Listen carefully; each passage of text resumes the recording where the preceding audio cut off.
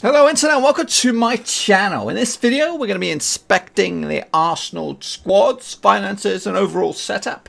If this is your first time here, you might want to hit that subscribe button. It'll keep you bang up to date of all my FM related content going forward.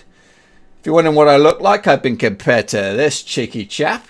If you don't believe me, that gives you much more reason to subscribe as in amongst my other content I pretty much always show my face, just not these videos as it's Still very late and I am not wearing too much and my face is a mess and all that kind of jazz. Anyway, enough jibber jabber, let's jump straight in with the start of this video.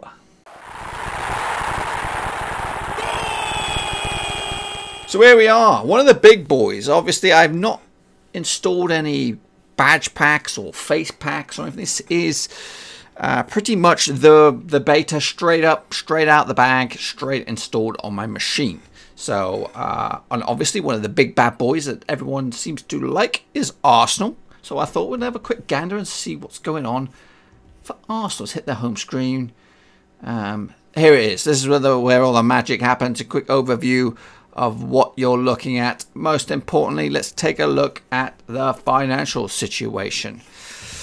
You're given a transfer budget of 80 million. Whopper. And a wage budget of 2.8 million per week. Scouting budget 720,000 pounds. Not sure if that's uh, a yearly thing. Again just like in every other team you can adjust your uh, your transfer budget. You can even go as high as 95 million which will reduce your wage budget all the way down to 2.5 uh, you can flip it the other way around and have a small, tiny budget, 20, 21 million, and have a wage budget of 3.9 uh, million pounds per week. And that might come in handy, and I'll tell you why in just a second. Obviously, Arsenal, one of the big boys, not in Champions League this season, in the uh, Europa. Um, let's have a quick gander here at some of the other bits and pieces. Obviously, brand new game, still trying to figure my way around it. Um, but anyway, let's let's jump in a little bit deeper. Have a look at the board, what they uh, have to say for themselves. Obviously, a lot of Arsenal fans not very happy with their board, but at least you got Wenger out. You got me in there now. Um, let's take a gander here. The board is satisfied. Obviously, they are. Minimum expectations. Qualify for the European Champions League. Okay, perhaps that's, that's doable. They want me to reach the final of the FA Cup. I uh, don't really care about the Charity Shield. And uh, they don't really care about the Carabao Cup. What do they say about the Prem? Oh yeah, qualify, that's right. In the European Cup, reach the final. Consider it done. Uh, anyway, let's take a look at the under 18s. Obviously, Arsenal renowned for their youth uh, setup uh, just just last time out in the actual Car Carabao Cup, coming from 1-0 behind against Norwich. One of their youngsters came on the bench, came off the bench, popped in two goals to win it. I'm just trying to have a quick scan, see if I can see the guy in here, but I can't. Um, yeah, that's your that's your youth setup there. Any key players, any standouts? I'm not an Arsenal man, so I, am not, not too sure. But take a little gander at some of the values of some of these guys. Trey Cole worth £100,000. He is only 16 years old.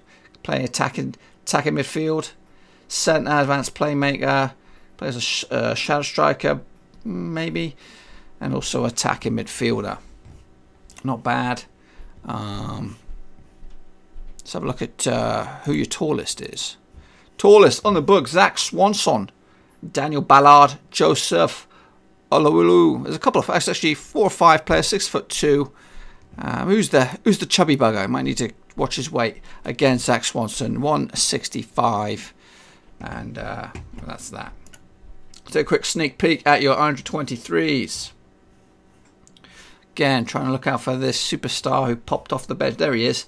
This fella right here. He came off the bench other day. Popped in two goals. Youngster, 18 years old. Uh, I haven't actually seen the goals. Plays, plays poacher, false nine, advance forward, pretty decent. Uh, not bad over, uh, overall statistics. Look at these high, high teens. Acceleration 16, natural fitness, fitness 15. Um, yeah, not a bad player. Not a bad player. Who, who wants him? Who's after him? I have no idea what I just clicked there. Let's go back. See if I can see. You know, there's Barnsley. Championship club, perhaps. We'll, we'll think about that. Anyway, let's take a look at who our most valuable player in the reserves. Oh, we've got a whole handful of, realistically, players who will be first teamers elsewhere. Look at this Lucas fella. Forward. He's actually, what the heck is this? Is he on holiday? He's on holiday. Golly, players these days. Uh, he's valued at 29 million. Binham, flog him off, get get that money and put it to good, some good use. I'll tell you what you can put it to in just one second. Uh, realistically, this is your first real under 23. He's valued at 2.7 million. 19 years old, French star of the future. Actually wanted. Who's he wanted by? 11 clubs. I wonder who they are. 11 clubs. Anyway, he plays inside forward. He can play pretty much anywhere in that uh, middle of, uh, you know, attacking in that attacking midfield slot on the left, on the right. You know, could even push him up front, perhaps, if you were desperate. Um, but quality stats across the board, a lot of greens. That's what you want to see. Um, meanwhile, let's have a look at something that's pretty crucial. In fact, let's jump out of that. Let's go to the main big boys. Yeah, that's what I want to go straight into. We'll have a look at that in one second. Let's have a look at the players of Arsenal's books. Two quality keepers.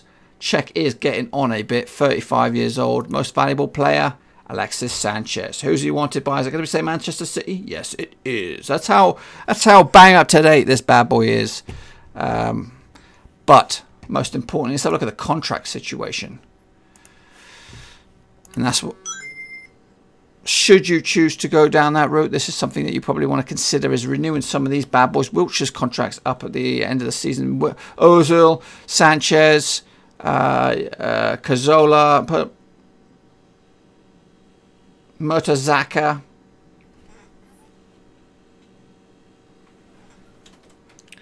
So there are some players that uh, require some attention moving forward if you are going to be getting your teeth stuck into this one. Um, full of them. Alex Iwobi now considered first team value of 25 million. It's absolutely ridiculous, some of the values of these players. Uh, bang up today, Alexander Lacazette's in there. I don't know if that's how you pronounce it. I am a Blackburn Rovers supporter, so I am in the uh, League One, and saying these names is probably saying it for the first time. Uh, team report glance through that. You can you can take a you can pause the video if you want to have a read yourself. So look at squad depth.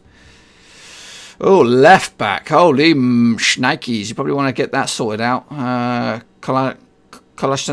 and Mon Monreal, your only left backs on the books. Perhaps someone in uh, reserves can come in and step up.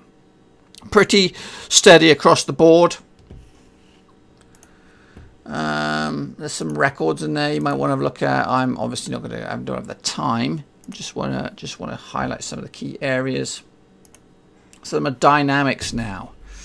Everything seems to be on par in here. Here's the hierarchy. Here's three players you can consider as your captains. Koscielny, Cazorla, Mertesacker, and a whole host of other players in the middle there could be considered captains. Should any of those three decide to leave, or you decide to get rid, Obviously, Mertesacker going to hang up his boots at the end of the season, so um, that's that. Core social group, big bunch of players.